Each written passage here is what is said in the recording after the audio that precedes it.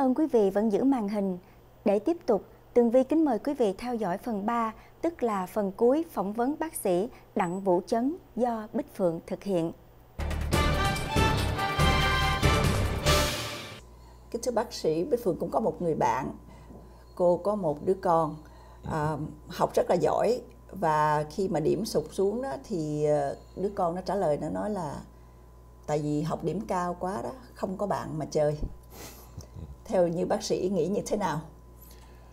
Um, nó rất nhiều yếu tố nha. Trong đó nó cũng là một cái yếu tố mà nó tùy từ mỗi em. Nó có những cái tâm lý nó đặc biệt. Tại vì trong vấn đề mà tâm thần thì không có ai giống ai hết. Mỗi người có những cái hoàn cảnh đặc biệt của đó ờ, có những em thì ờ, điểm thấp thì họ nó, nó cảm thấy nó, nó, muốn cảm phấn đấu hơn để tới điểm cao. Có những em nghĩa điểm thấp hoặc là giống như ở Việt Nam hồi xưa thi rớt là ờ, là tự tử là tùm lum hết đấy. Thì là nó tùy theo cái, cái phản ứng của mỗi người. Yeah. thành ra có những những cái trường hợp đó một đứa trẻ mà giỏi quá mà nếu mà ở trong một cái môi trường mà bạn bè nó không có xuất sắc, xuất sắc mấy đó thì nó sẽ áp lực của đám bạn. À, và đây là tình trạng mà nó khá xảy ra ngay cả những cái trường hợp của những cái em bên Mỹ mà nó gọi là cái ghetto mentality những em da, ở, ở da đen đó. Ở trong cái môi trường như em xuất sắc quá đó thì bị bạn chung quanh nó nó, nó nó kiểu hàng này, nghĩa là muốn ờ, đi theo đuôi tụi ờ, da trắng ờ, dẫn nó kéo xuống và nó tạo cái áp lực cho bạn bè khiến các em chịu không nổi. Thì cái trường hợp mà em của bạn của Duy Phượng nói thì cũng có thể là một trường hợp đó. Khi mà bạn chung quanh nó không có thành công nhiều trong vấn đề học hành, tự nhiên một đứa mà thoát ra khỏi, muốn vươn lên thì tự nhiên nó muốn kéo xuống à để cho nó, và nó sẽ tẩy chay, nó làm cho cái này cảm thấy khó chịu. Thành vấn đề mà chọn bạn mà chơi cũng vấn đề rất là quan trọng trong cái trong cái um, môi trường học đường. Bạn bè mà mà nó ảnh hưởng với nhau rất là nhiều. Peer pressure mà. Kính thưa bác sĩ về cái cách trị liệu như thế nào? Bác sĩ có thể chia sẻ được? Ừ. Trị liệu thì nó tùy hoàn cảnh của mỗi em chứ không thể có một cái chung chung được. Đầu tiên á, nếu mà khi mà có cái dấu hiệu mà mình có cái quan ngại không biết đứa trẻ là nó, nó tự tử hay không. Khi mình có dấu hiệu vậy đó, thì có hai trường hợp phải làm ngay. Cái, cái trường hợp thứ nhất là nếu mình đinh trẻ nói là con muốn tự tử hoặc là có những hành động tự thì tôi phải gọi 911 để cho họ đến uh, để bảo đảm cái, cái, cái, cái mạng sống của em. Nếu trường hợp mà cũng không cần cấp mình thấy vậy thì nó ở bên Mỹ nó, nó có một cái ờ, đường dây điện thoại nóng tức là 24 trên 24 nó gọi là cái đường hotline nữa và số điện thoại tôi thể đọc cho cái cái vị đó là một tám trăm hai bảy ba tám hai năm năm talk. Gọi đến sẽ có người uh, đó họ nói trực họ sẽ hướng dẫn họ sẽ uh, chỉ dẫn họ sẽ gọi là support uh, cho vấn đề uh, vấn đề của mình và họ sẽ hướng dẫn đến những cái nơi khác. Um, những trường hợp mà hoặc là um, nếu không có um, khẩn cấp nữa thì có thể gọi để hẹn với bác sĩ ờ, uh, với cái chuyên khoa về tâm thần hoặc những cái người counselor cố vấn thì họ sẽ giúp cho.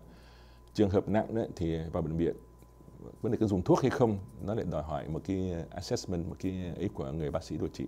Có những em mà bị bệnh ờ, tâm thần nó rất là nặng ờ, được triệu chứng thì nó phải cần dùng thuốc còn có những em chỉ bị tâm lý không thôi do ảnh hưởng của môi trường bên ngoài thì không cần dùng thuốc. À, chỉ cần ngồi điều trị nói chuyện và phần lớn thì họ sẽ không giữ như là thương à, mà họ sẽ gửi ra bên ngoài để để um, có tâm lý trị liệu. À, thì có khi mà những cái và phần phần nhiều thì họ sẽ dùng phối hợp dùng thuốc và tâm lý trị liệu. Thưa bác sĩ, nếu mà khán giả coi đài biết được bác sĩ là chuyên về tâm trí thần kinh, nếu mà họ muốn đem con của họ đến gặp bác sĩ, bác sĩ có nhận bệnh nhân mới hay không? rất tiếc là bây giờ tôi không nhận bệnh nhân mới nữa tại vì ờ, quá quá nhiều và không có đủ thời gian để mà chăm sóc ờ, tại vì nếu mà mỗi bệnh nhân cứ hỏi mình nhiều thời gian và thời gian mỗi một bệnh nhân khoảng thư bao nhiêu thời gian để mà gặp để mà mình trị liệu? thì tùy tùy nhiều khi bệnh về tâm trí thần kinh đó là một bệnh mà về lâu dài thì phải gặp thường xuyên thường à, xuyên là bao lâu thưa bác sĩ? Thì nó tùy trường hợp có có người cả mấy chục năm ha có người cả đời giống như là mình khi mà mình bị bị uh, cao huyết áp hay tiểu đường nữa mình phải uống thuốc uh, nghe đều đều đều. Thì trong vấn đề tâm trí thần kinh cũng vậy. Tức là bệnh mãn tính mà kinh nghiệm.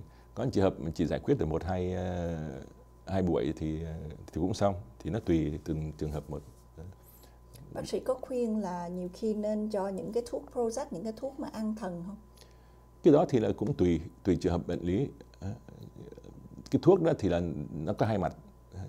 Nếu mà mình dùng đúng và đúng lượng thì nó tốt, nó giúp cho nhiều nhiều nhiều em, nhiều nhiều người, nhiều bệnh nhân. Mà như nếu mà dùng không đúng thì nó có những cái phản ứng phụ ờ, làm cho bệnh nặng hơn và là nhiều người nghe không muốn uống.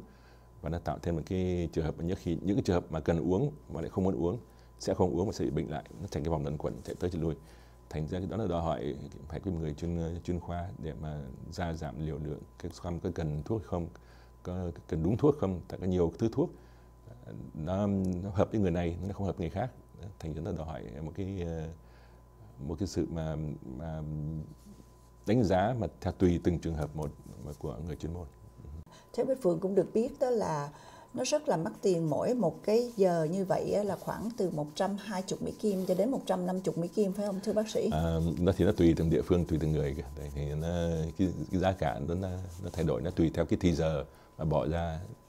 Tại có trường hợp mà bỏ rất nhiều thì giờ. Ở đây đã hầu hết tất cả những cái nơi đó nó có những cái um, những cái clinic của à, chính phủ của state của tiểu bang. Đó, thì có những cái clinic này đó thì nhiều khi họ chữa miễn phí và họ chữa theo cái lối mà là sliding scale tức là họ tùy theo cái uh, income cái mức lương của bố mẹ. Ừ. thì nhiều khi mỗi lần đến thì trả 5 đồng thôi đó, tùy theo cái mức lương. Có khi cho free luôn và nhất là những người mà không có uh, bảo hiểm nữa thì uh, tất cả những cái cái cái cơ quan chính phủ đó những cái uh, những cái trung tâm điều trị chính phủ đó họ phải free. Đó là cái vấn đề mà nhà nước đó họ phải phải lo cho vậy là cũng tốt để, để cho mọi người biết được uh, there's always a help from thưa bác sĩ? lúc và nào cũng có một cái sự có. hỗ trợ giữa và. của đúng và cũng đừng có ngại là mình ờ, không biết tiếng uh, tiếng Anh. Tại vì tất cả những cái cơ quan đó đó họ đều có thông dịch. Và nếu mà họ không có người thông dịch tại chỗ đó thì họ thông dịch qua điện thoại. Tức là mình sẽ nói chuyện uh, language line. language line. Và mình nói qua điện thoại Cảm ơn bác sĩ rất là nhiều đã cho khán giả của đài biết được tất cả những cái chi tiết rất là bổ ích cho cộng đồng mình. Hầu như là để giúp đỡ cho các những cha mẹ cũng như các em thanh thiếu niên mà không biết uh, tìm kiếm nơi nào để mà có sự hỗ trợ uh, đồng hành với các em trong vấn đề mà mình không muốn sống trong cuộc đời này nữa. Cảm ơn chị Bích Phượng và xin kính chào quý khán thính giả của đài. À, cảm ơn bác sĩ thật là nhiều à, đến với chương trình đặc biệt ngày hôm nay. Mong lần sau sẽ được phân hạnh phỏng vấn bác sĩ về những người tâm trí bệnh ghiền như là đánh bài, uống rượu, hút thuốc um, và xài những thuốc xì ke ma túy phải không thưa bác sĩ? Vâng. Cảm ơn quý vị đã theo dõi cuộc phỏng vấn đặc biệt giữa Bích Phượng và bác sĩ Đặng Vũ Chấn. Xin hẹn quý vị vào những kỳ phỏng vấn lần sau. Kính thưa quý vị, VATV sáng nay đến đây là chấm dứt. Tường Vi kính mời quý vị đón xem chương trình VATV thứ Bảy và Chủ nhật mỗi tuần vào lúc 11 giờ sáng giờ Hoa Thịnh Đốn. Mọi liên lạc hay đóng góp ý kiến cho VATV xin email về vatvnews@gmail.com. Tường Vi kính chào và hẹn gặp lại quý vị vào kỳ tới. Kính chúc quý vị có một buổi cuối tuần an vui và hạnh phúc bên người thân và gia đình.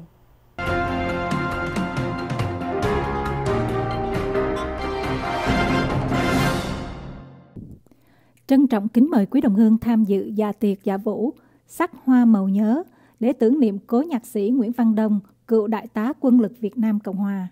Vào lúc 6 giờ chiều ngày Chủ nhật 28 tháng 7 2019 tại Harvest Moon, 7260 Arlington Boulevard, Fort Worth, Virginia 22042 Mọi đóng góp nhận được sẽ giúp cho Thường phế binh Việt Nam Cộng Hòa. Mọi chi tiết xin liên lạc Nhất Hùng 301 529 5603, Bích Duyên 703 599 6043.